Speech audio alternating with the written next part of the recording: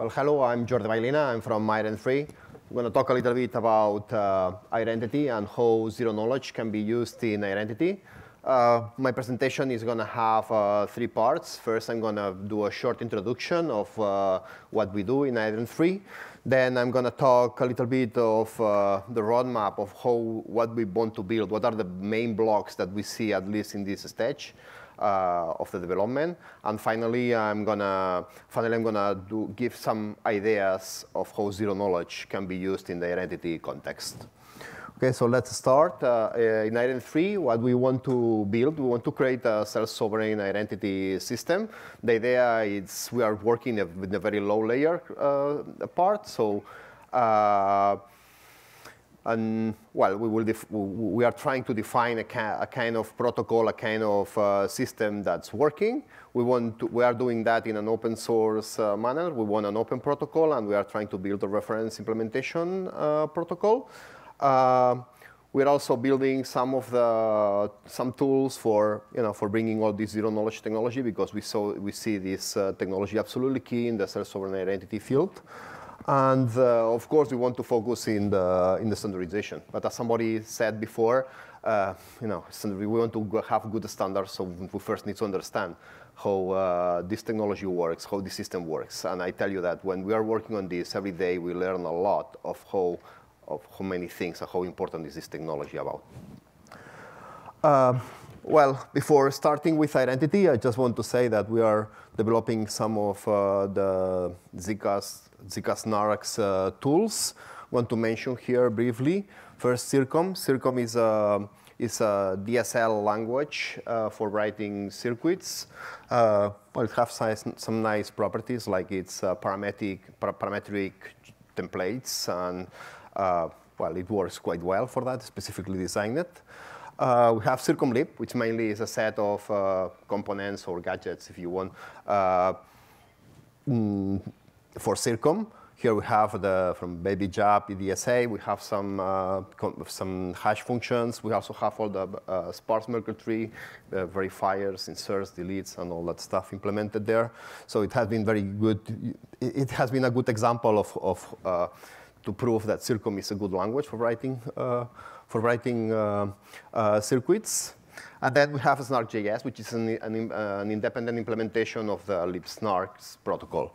Uh, and today, we just launched it, something that's, we just launched it today. It's a, uh, well, it's a zk, it's a zk-SNARK proof generator, but from the browser, write it in WebAssembly by hand, and well, it's quite fast. So right now, creating uh, proofs from the browser, well, it's, uh, you can, just as numbers, more or less uh, a 5K constrained circuits takes less, less than 10 seconds in a, in a browser.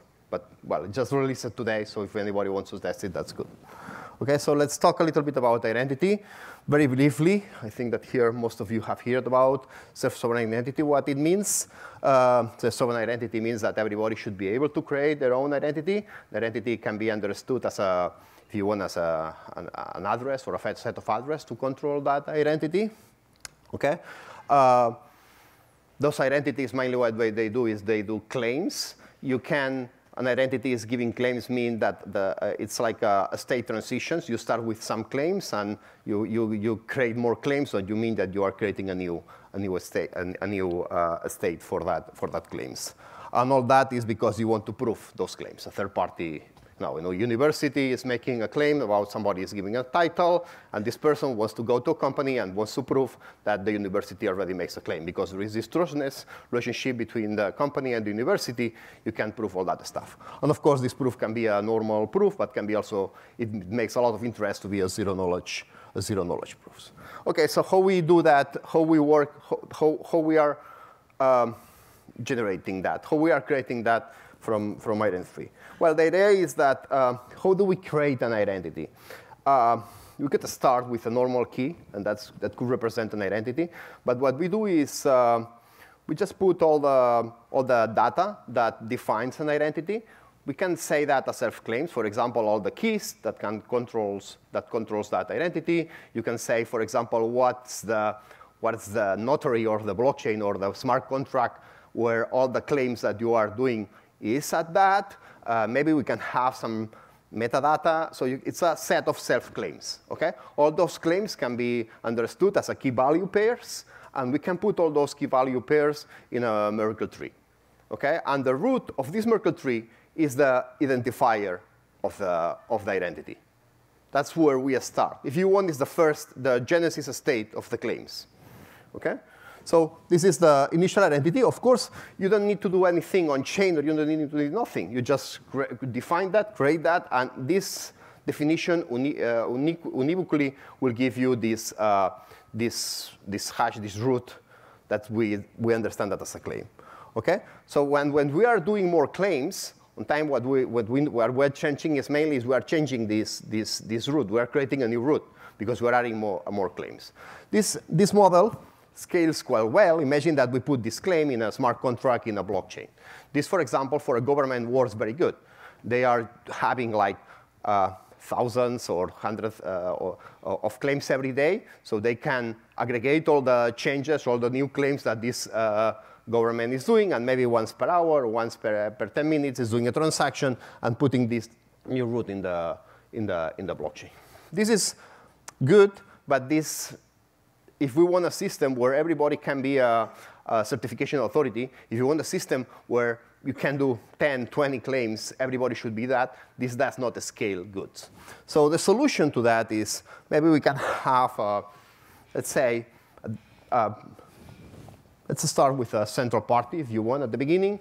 That's a trusted person, trusted notary. And then what we do is the, the root, we send this root to the, to the, to the, to, the, to this centralized uh, relayer, and this relayer makes a claim that the user is this one. Here is good, but you know the, here the problem is that this trusted this relayer must be trusted, and this relayer can make make me say things that are not good. Okay, so here what we can do is that what happens if this trusted relayer is uh, maybe it's a smart contract, and in order to publish that, you need this relayer needs to uh, verify that the change comes from me. For example, my new root, I need to sign that root. And what I do is I send this root, and maybe this relayer aggregates many other transactions. They verify it with a zero-knowledge proof, and then it's, it's just publishing the root of the roots, you know, the root of this trusted relayer, and you know for sure that uh, this new root follows the rules that, you know, that they need the signature of the new layer and so on. So that means that this is uh, what we call it a trustless uh, operator. And uh, this is very much, if you have heard about, for example, about uh, plasma snarks or things like that, it's, the idea is exactly the same. It's a kind of a scaling. It's, we are uh, verifying a lot of transactions with a single, with a single, with a single zero knowledge. Okay? And with the addition that here we don't have the data availability problem in that. Okay, but that's the, the, the idea of this, of this, of this uh, solution. Here, if you prove something, uh, you, you, you are sure that this proof is good. Uh, but if you, the, the, only thing here is that maybe the operator just stopped working, but in this case, you will not be able to prove. You will not prove the opposite. So if you can generate the proof, you can be sure that the proof is valid. Okay? Of course, uh, this is a good application for zero knowledge. The other application is the obvious one. It's for just for proving uh, anonymously. Typical example of proving that you are 18 years old uh, without revealing who you are, things like that. This is a, a good application for that. An example of claims, just this is just a single example, but you know, the system, or a system of claims, you know, everything can be understood as a claim. And one thing is, for example, how we name identities. Well, a name identity is, in this case would be the owner of a domain name or the owner of a name. In this case, the owner of Iden3 could make a claim saying that uh, Jordi uh, at iden3.io belongs to this identity. So you can understand even a full naming system as a, as a, you know, a sort of claims. The domain names have owners, the owners are identities, and the identities make claims on that owner. So we can, this is a good example, but you can extend that to everything that's a claim. Okay? And you can use the same systems just for making the proofs and all that stuff. Okay? So here is a little bit the roadmap that we are working on. Okay? Of course, in the lower layer, we have all the zero knowledge technology. That's not even clear what's going to be the, the, the one that's going to be the, that will work. Maybe there are going to be many. Okay? On top of that, of course, we have this, let's say, primitive, cryptographic primitive. Here, I want to say the importance of the, of the, hash, of the hash functions inside the, in, inside, the, inside the snarks or inside the zero knowledge system. This is really important. On top of that, we have these uh, Merkle trees, sparse Merkle trees. We are working in a, a sparse Merkle tree. Sparse Merkle tree is, if you want, is our key values where the keys are put at some, some, some place. They, use to, uh, they put it in the same place. And, uh, well, uh, they work very good because you can prove inclusion and you can also prove exclusion of those sparse Merkle trees. Uh, they are big because they, they have many steps, and this is not very good for, for, for snarks. But you can do some tricks because uh, the definition can be with, a, a, a, I don't know, maybe with 200 levels. But uh, you can have different circuits, maybe one with 10 levels, another with 20, another with 30. All of them are valid for, the, for this uh, structure because the structure does not change, but you can have different circuits for validating different levels. So this has this advantage uh, on that. Okay, and when we have this Merkle tree, then of course there is all the claim format, if you want the generic claim formats, and then all the specific claim formats. And then, of course, we need to standardize also what are the circuits for verifying those claims.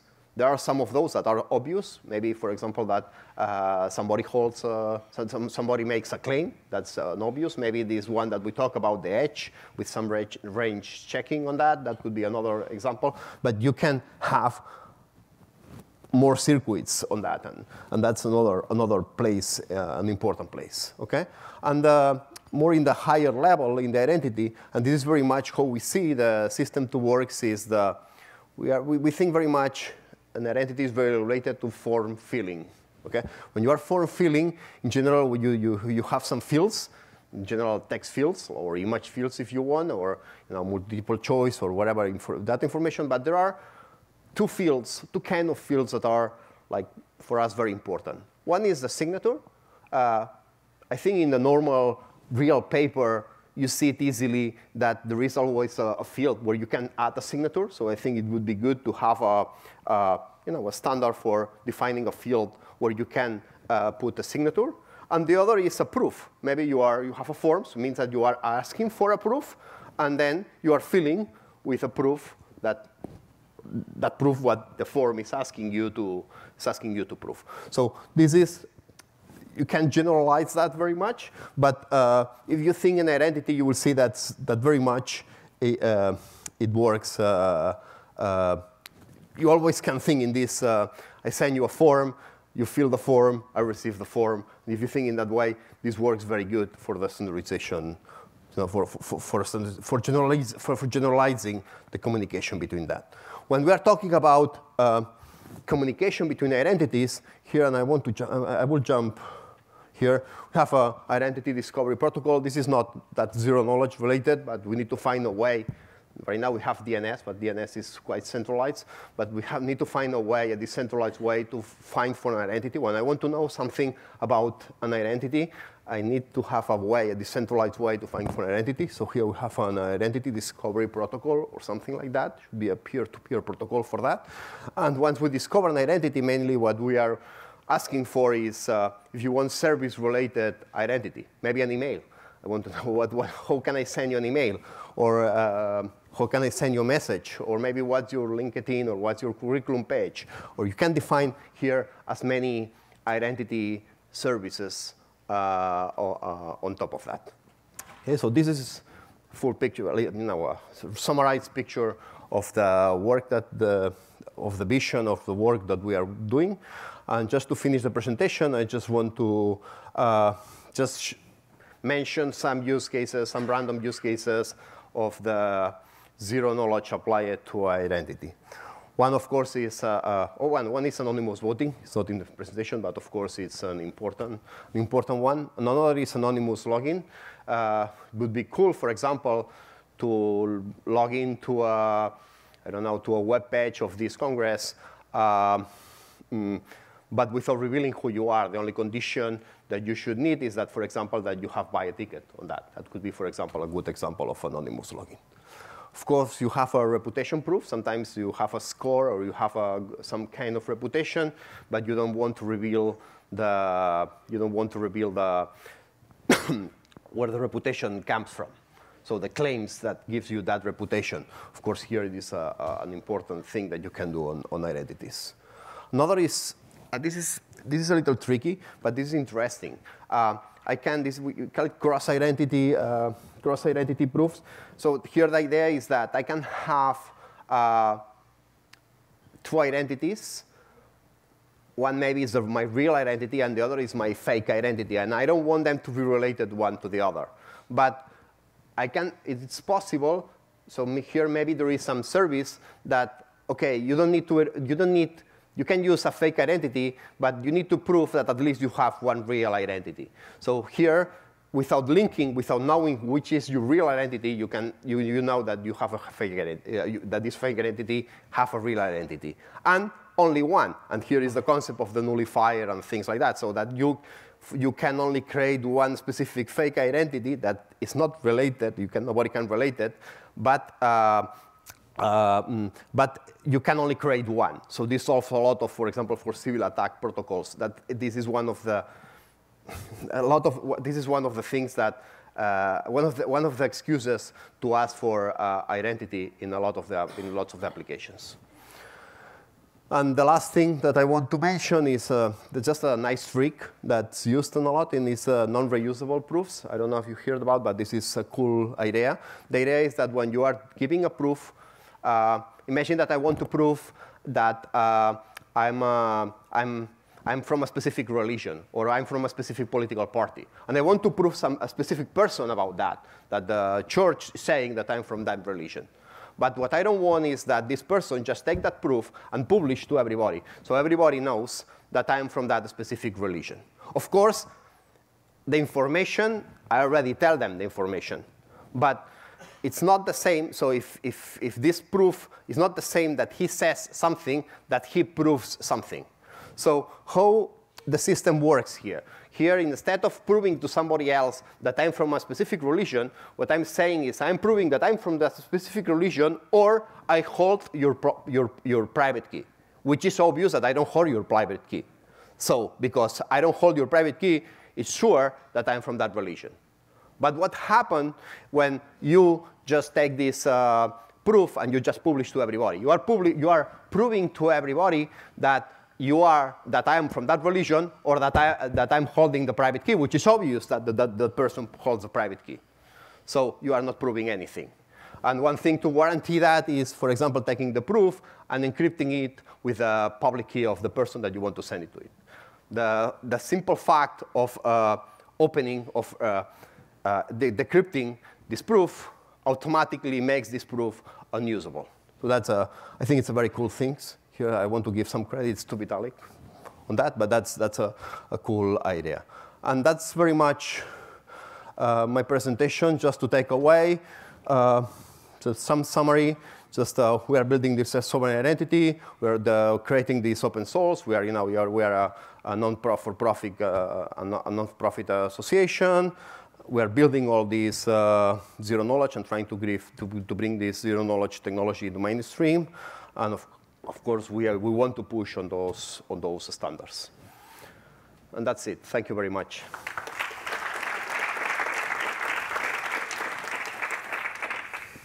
Any, uh. Any, any questions? Yeah, please. Hi, this is Hitarshi. So uh, as far as claims is concerned, are you using uh, uh, any of the standards like W3 standards for the standard claim definition or DIDs? Is that part of your uh, implementation?